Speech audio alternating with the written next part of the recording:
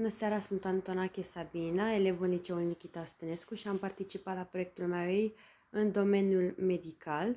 Consider că a fost un proiect interesant, am învățat ceva nou și am reușit să experimentez lucruri noi.